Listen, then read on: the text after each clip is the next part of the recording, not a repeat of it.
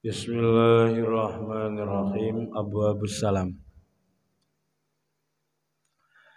Abu Abu Salami utawi iki iku mertelaake akad salam. Basa Jawa kawine tempah. Tempah utawa pesen. Saiki apa rek? Apa? Apa kerennya apa? Order. Abwabus salam utawi iki iku mertelake akad salam. Wal qardi lan akad qard gawe makna utang apa makna tahlilul lafzine? Bisukunir malun mausufun fi zimmah la yakunu bisa babi bayin. Kordun utang. Wal kordi lan akad utang. Warrohni lan akad gade. An ibni Abbas an ibni Abbas radhiyallahu anhuma. Kala dawu sapa Ibnu Abbas dawuhna qadiman Nabi Qadima rawuh hadir. Sobaan Nabiyu Kanjeng Nabi Muhammad sallallahu alaihi wasallam. Al Madinata ing kota Madinah. Wahum khali utawi kaum iku yuslifuna. Wahum utawi penduduk Madinah iku yuslifuna. Jadi salam kadang gawe lafat napa salaf. Eh padha tempah nggih padha akad pesen. Eh sapa penduduk Madinah? Fisimari ing dalam piro-piro wan wah-wan As-sanata ing dalam setahun. Was-sanata ini lan dua tahun. Pakola mongko dawuh sapa kanjeng Nabi ana man utawi sapane wong. Iku aslafa lamun akad salam akad pesen sapa man fi samarin ing dalem buah-buahan. Ya bal yuslif monggo becik peseno sapa wong fi kailin ing dalem takaran maklumin kang den weruhi ila ajalin maring mongso maklumin kang den weruhi muttafaqun alaih. Alil Bukhari lan iku tetep kedue lan iku kedue lafate Imam Bukhari man aslafa utawi redaksi man aslafa fi syai'in.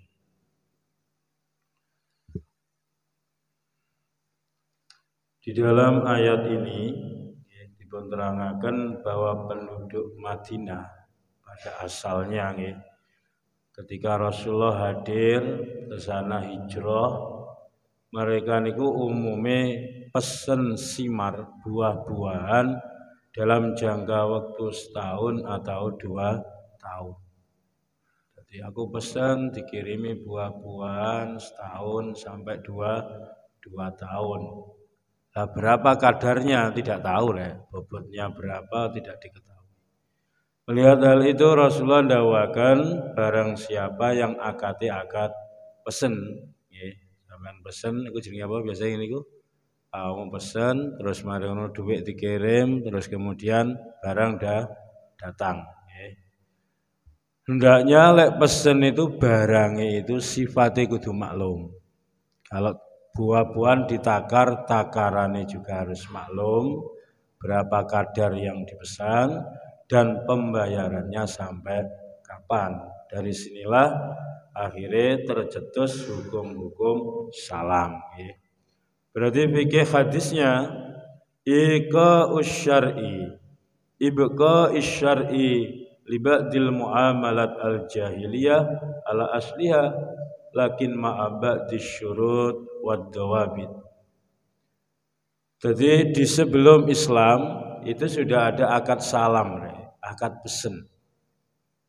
Lah apa yang ada di zaman jahiliyah ditetap no. Akad pesen zaman jahiliyah sudah ada. Zaman Islam akad pesen juga ada. Akan tetapi ketentuan-ketentuannya saja yang dirubah sesuai aturan syariat. Kalau akad pesen kadarnya harus maklum, pembayarannya harus kon kontan, okay itu bagian dari hukum sah salam. Nomor dua, jawazus salaf awis salaf. Waqad ajma'u ala dzalik illa ma ruwiya an Ibnu Musayyab. Beniki hukumnya akad pesan awakmu apa tuh bosone rek? Aku gak harus ikon pesen apa ya. Bisa order ngono Apa? COD lah uh, tambah lah COD tambah gak oleh lah bayar di bayar di rumah mboten oleh. Eh, kon nakate pesen iku bayar langsung elok salam lah ya. Iya iya. Sing bener ngono lek kok kaji ngono malah ya uh, misalnya ngoten. Uh, jadi intinya kon bayar di depan akan salam itu tapi sifat-sifat sudah ditentu ditentukan. Kurang ketemu istilahnya orang ngono aku biasa roh aku uh, bon. Uh, nomor selanjutnya nomor syarat-syarat B. Wis intine syarat A, B, C, wakeh nih D sak teruse eh, tak wajah kok salam. Hadis selanjutnya. Kita fokusnya nanggone napa? Hadis kalau fikihnya sudah detail mulai di bab napa? Sulam taufik sampai nanggone fathal mu fathal muin. Ngoten. Wan Abdurrahman lan den riwayatake saking Abdurrahman ibni Abza wa Abdullah ibni Abi Aufa radhiyallahu taala anhuma qala dawa sapa Abdullah Abdurrahman kali Abdullah.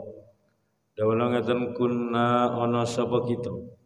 Iku nusibu merkoleh sapa kita mendapatkan sapa kita. Al maghanima ing pira-pira. Uh,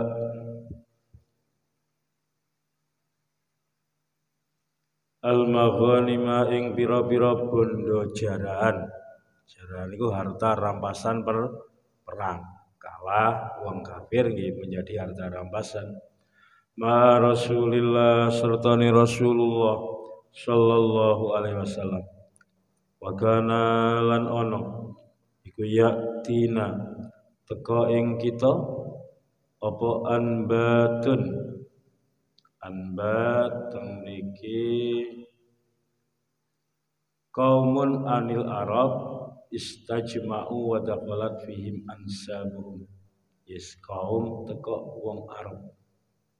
Sapa ambatun pira-pira wong arab? Di keturunan arab nih niku teng niku teng catatan kakine ambat niku kaum teka wong Arab istajma'u mereka berkumpul. Wa dakhalat fihim ansabuhum. Terus kemudian nasab mereka masuk kepada yang yang lain. Kecampuran yang lain. Min anbatis syam. Saking pira-pira wong Arab ing dalam tanah Syam. Sing kono. Wanuslifahum. Nuli pesen. Akad salam sapa kita. Hum ing anbatun. Bil khintati ing dalem gandum abang wasyairi lan gandum putih. Wazabibi lan kurma garing. Wabi riwayatin lan iku ing dalam riwayat yang lain batin zabib tapi wazaiti lan minyak Z zaitun niku minyak kontek tapi dari Z zaitun pohon. Uh, ila ajalin tumeka maring mangsa. Musamma kang den arani kila den ucapake apa agana. Agana ana ta ana iku lahum kedue ambatun apa zarun tanduran. Kala jawab sapa? Abdurrahman lan Abdullah. Jawab ma kunna. Ma kunna ora ana sapa kita. Iku nas'aluhum. Bertanya sapa kita in ambatun. Andalik saking mengkuno-mengkuno masalah agana lahum zar'u jadi ini juga sama jadi ketika para sahabat didatangi sekumpulan keturunan orang Arab yang nasab mereka sudah campur dari negeri Syria, maka mereka berpesan. Pesan itu melakukan akad salam, pesan. Jadi gak enak barangi, ya nuslifuhum, saya berpesan gandum, jumlah sekian, sifatnya kering, jenisnya ini, ini, ini. Jadi pesan gandum abang, gandum putih, anggur, sebagian riwayat bukan zabib tapi minyak sampai masa yang ditentu ditentukan. Jadi artinya akad salam itu harus lebih rin, rinci. Barang tidak ada tapi disifati dengan sifat-sifat tertentu karena dengan sifat-sifat itulah harga barang akan menjadi berbe berbeda. Lalu selanjutnya niki sama fikih hadisnya jawazus salaf awis salam. Jadi akad pesan itu diperbolehkan. Nomor dua jawazus salam idza lam yuzkar makanal qabdi. Boleh akad salam ketika belum disebutkan tempat penerimaannya. Tapi nanti ketentuannya kan tempat pengiriman itu harus jelas lagi. Karena berbeda tempat pengiriman itu akan berbeda masalah har harga. Tapi lek Shopee kan tertentu barangnya sekian. Kalau pengirimannya ke sini ongkirnya tambah sekian. Tadi lebih dirinci ke ong ongkir. Jadi seumpama dirinci itu kan dirinci ada uang ridho. Tapi ketika tidak dirinci orang tidak ternyata daerah gak bisa dijangkau kalau sepeda motor, speed budok ya tentu tambah pendanaannya juga ta, tambah. Uh, selanjutnya. Wan Abi Hurairah. Lan den riwayatake saking sahabat Abi Hurairah radhiyallahu an anin nabi saking kanjeng Nabi Muhammad sallallahu alaihi wasallam.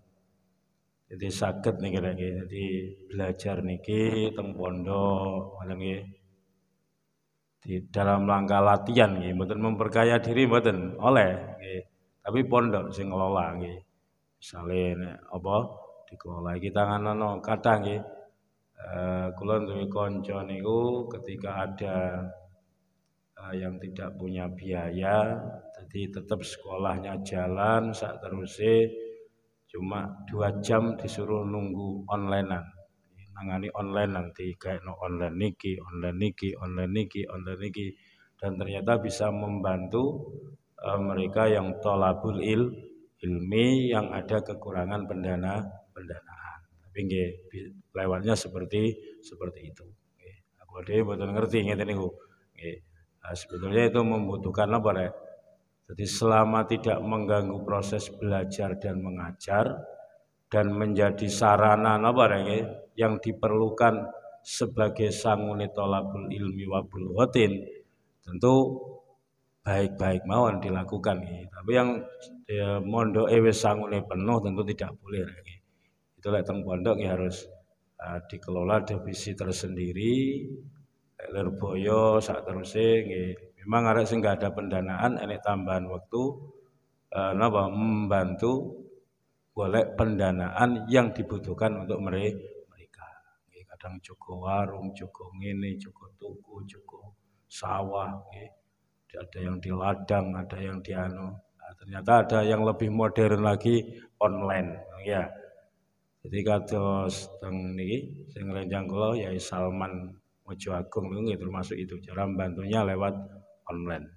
Di, dilatih di dua jam di online bisa membantu orang. Jadi termasuk manfaat-manfaat IT itu sebetulnya bisa di di situ. Bisa di situ kita gunakan. Ayo kanca kata niku kula gak ngerti arek cilik-cilik mawon nggih sing niku uh, misanan-misanan kula sing baru nikah sak teruse kula duwe sedulur sing tenganjuk bagian pembibitan dia online tok nggih gak gak bibit tapi nggih ngedoli nggone wong-wong dulur-dulure dikongkon elok online disalurno nang ngene dhek keuntungannya diberi wis ngono ya wis wis oleh ya lah nah, seperti itu. Tapi aja mikir mari kon aku tak nyambut gawe mboten. Awakmu tujuannya fokus untuk bela belajar. Itu paling ngantisipasi kondisi-kondisi tertentu. Jadi sekedar keilmuan itu bu kalau kadung roh enak itu ya uang mau belajar nggih. belum belajar. Eh, uh, nyekel duit terus dolin. Nah, iya. ngaji gak kalau ngaji. Jadi gak patek ngaji aku duit ya oleh. Jadi duit siluman-siluman kok oleh. Bismillahirrahmanirrahim. Uh, wa an Abi Hurairah lan den riwayatake saking sahabat Abi Hurairah radhiyallahu taala anhu anin Nabi sallallahu alaihi wasallam Qala dawah sahabat sahabat Abi Hurairah Dawa man akhadha amwalan nas. Memang ini ilmu ini, nggih. Tapi bab salam. Man utawi sapane wong yang punya konsep kita tapi sing ngentekno sa Indonesia sopi karo sapa iku. Iki lek pinter IT kon gawe aplikasi dhewe jange ngono. Sakjane ngoten itu yang menguasai malah ya. Eh iso nggih yang anak santri pun ini kok yang pesuruan orang gawe Gojek tapi go apa nggih nek go ya yang pesuruan kan ada nggih. Dadi uh, ojekan tapi made in aplikasine santri ngono ya nek Nah, jan tulinan ya tulinan sing temenan wis ngaji yoga anu setengah-setengah ya. IT ini setengah-setengah. Ning IT ya ora dadi master. Ning alfiah gak paham ya to muin plegak plegu akhirnya dadi telo telone telon dagel mboten enak nggih dagel iku empuk gak empuk atos gak atos. Diincip orang akan dilepeh biasa ya to nah, Kala dawa sapa Kanjeng Nabi Muhammad sallallahu alaihi wasallam. Dawana man akhadha amwalan nas.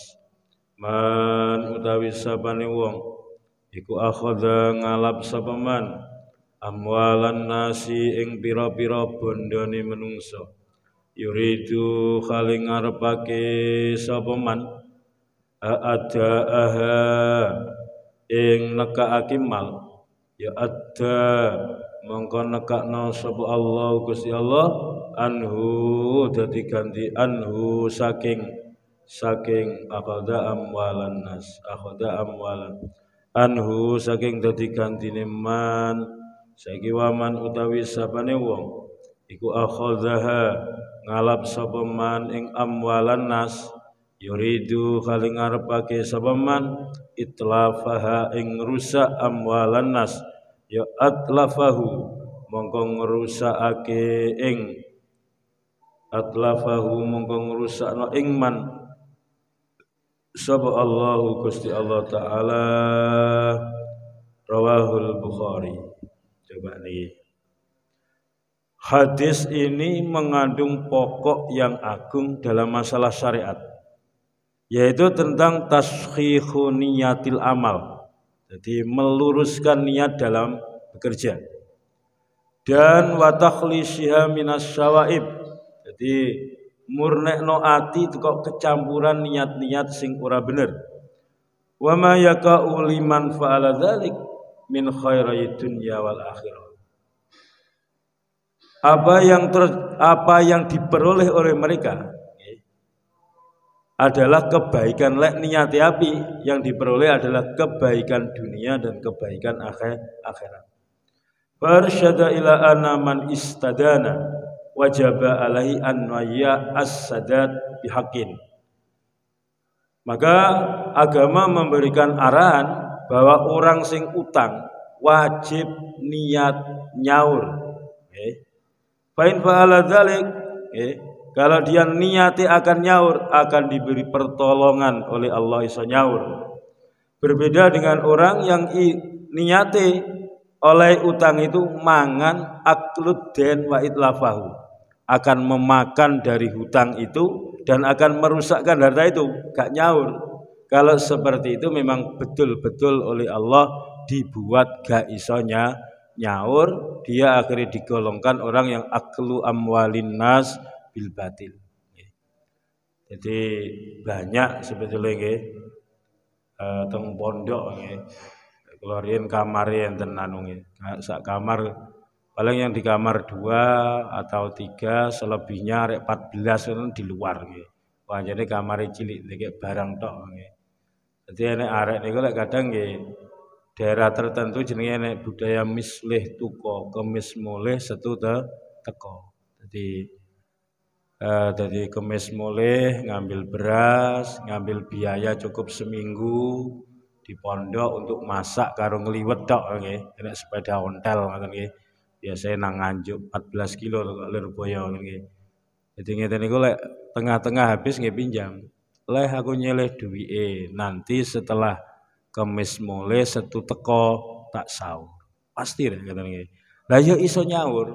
Akhirnya mondok sampai selesai mandek sampai selesai sampai berhasil sampai jadi wong jadi orang jadi kiai saya pada mawon ya pada mawon sing teng Kalimantan ketua Basnas pengasuh pesantren ya. banyak yang Kalimantan Kalimantan ini mulai lembaga zakatnya, kemenaknya, NU-nya, terus IAIN-nya semua dibleki anak-anak pendatang, anak-anak pendatang apalagi yang alumni dari pesantren-pesantren yang sudah punya kemampuan maka mereka menjadi rebutan antar lembaga lembaga NU ne yo ngakoni kemenake yo ngakoni lomba-lomba apa nggih andalane kampus negeri ya juga mewakil mewakili. Di padahal mereka yang pondok pian mboten karu-karuan. Ternyata luar biasa niatnya yang tulus nggih dan ketekunan kejujurannya dibuktekno kali Gusti Allah dengan berangkat ikhlasun niat. Dengan niat yang sangat ikhlas ya. Lah pendengar niki barang siapa yang mengambil hartane menungso yuridu ada dia niat akan mengembalikan. Adallahu anhu. Maka Allah akan memberi kemampuan pada dia mengembalikan harta itu. Barang siapa yang mengambil harta manusia ingin menghancurkannya deh mek dirusak tok gak disaur mek dipangan tok maka atlafahullah. Maka orang itu juga akan dihancurkan karo Gusti Gusti Allah. Ketok ini enak mangan dunyane wong gak nyaur ning akhirnya mesti ajur. Mereka niki dawuhe Kanjeng Kanjeng Nabi. Harta iki domirehu ini domir yang muhtamil. Mungkin ke orangnya mungkin kepada bakdil malnya sebagian harta hartanya. Itu namanya domir yang rujuknya itu ikhtimal dua. Ikhtimal dua. Dan kulon muhtamilun pada-pada bener bener digawe murad karo rujuk iso. Ya wong lek njupuk bondone wong utang gak disaur ya ajur. Ajur donyane ajur akhirate. Wonge dhewe ya iso dijur padha mawon nggih. Dampaknya kadang menjadi sebuah penyakit utawa ora dadi penyakit tapi neng pikirane nanggone atine ngrusak nanggone atine jauh dari kebenar kebenaran. Fikih hadisipun al haddu ala tarki akai amwalinas. Jadi agama sangat mendorong okay, jangan sampai aklu amwalinas bil batil. Jangan memakan hartanya manusia dengan batal. Jadi apa-apa akate sing jel, jelas, ojo akad sing remeng remeng. Lek jaluk ya jaluk, lek utang ya utang, lek utang berarti kudunya nyaur harus jel, jelas. Kalau kita nggak punya uang ingin usaha, lo langganan biasanya moro nanggone uang. Akad kirat ya bagi hasil. Mudoroba bagi hasil. Kalau orang-orang usangel diutangi, akeh lembaga-lembaga penyalur dah, dana PMT, Lantabur, apa lagi? NO, PMTN, NU niku guna-gunane duit sampean dititip-titipno ngeten niku diakati tertentu daripada nganggur gak iso nulung nanggone wong dengan ditaruh di sana bisa nolong kepada orang dan dengan cara-cara yang sesuai syare syariat. Nah, dhewe kok dekek kan enek tambahane ta ya? Nggih, enek tambahane. Wakeh mau didik ada tambahannya. Uh, dua at-targhib fi husnil ada wa tasfihin niat li ajli dzalik didorong dalam berhutang kudu niat sing api. Aku niat utang lek duwe tak balekno. Dan niat itu harus diluruskan.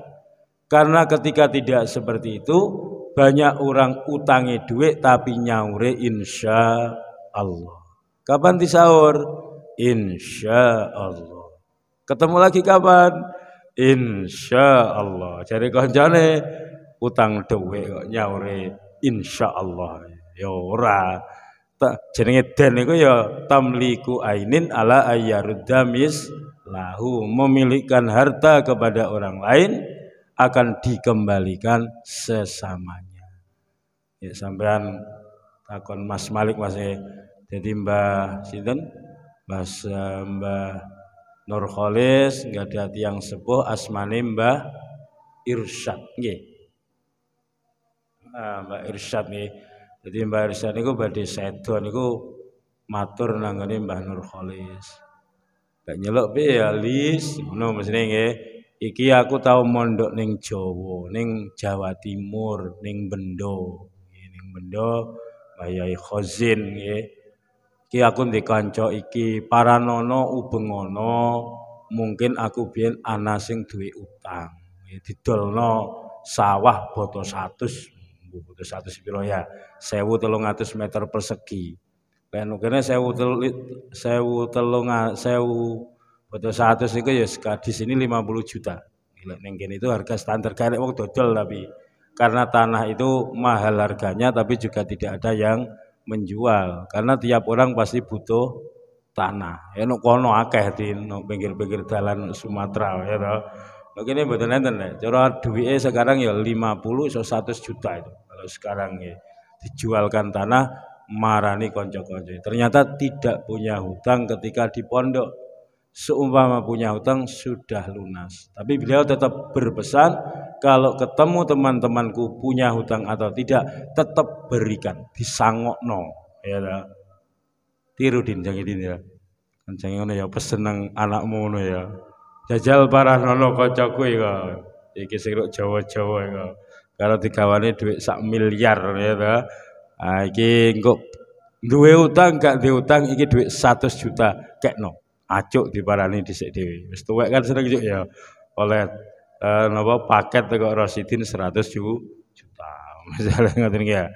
Nah, pun niku satu contoh saking ati-atine wedi lan duwe tanggungan ning do ning donya ora disaur karena akan tetap ditagih nu alam akhir akhirat. Ketika sudah itu orang duit dibayar duit mboten tapi duit dibayar dengan amal kebaikan kita. Kalau tidak punya amal kebaikan, amal keburukan orang yang menghutangi akan diambil diberikan kepada kita. Selanjutnya nomor tiga bayanu awimi takfirinnya ala awakibil umur. Ini yang penting kira -kira. Hadis di atas jelas no betapa besarnya dampak niat atas hasil akhir suatu perkara. Le anjenin niate utang dan akan nyaur, pasti iso nyaur. Pasti iso nyaur. Koyok-koyok tak terangkat, terangkat. Terangkat, nggih. Nggih. Wong kula duwe niki eh, tanah niki sampai ngguri nika sebetulnya disuruh membeli 8 juta. Tapi kalau gak ndek duit, gak ndek duit, apa tuh? Akhirnya apa? Tak dolo sepeda kula. Pedang ini kalau termasuk nih apa itu? Sing ireng ya, kayak ngene iku ki. Eh ketemune piro paling 6 juta sepeda ini. 6 juta ditambah kalungnya bojoku, mas kawin itu ya toh. Ketemune 8 apa ya nggih. Wis gak ndek apa-apa, gak sepeda, lek kate nang lunga nang dindi ya napa nyilih nggih. Nggih, kurangane utang tapi dengan tekad pasti isonya nyaur. Nggih buktine nggih iso. Nggih.